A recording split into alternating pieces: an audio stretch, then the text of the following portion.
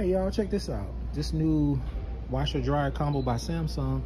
It says uh, total capacity smart dial washer with flex wash. I guess you can put a small load up here. Wow, that's cool. And then you can put a load at the bottom. Same thing with this one. You can dry something up top. This is sweet.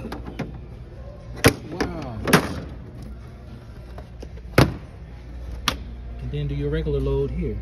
Sweet. Gotta check you out, Samsung.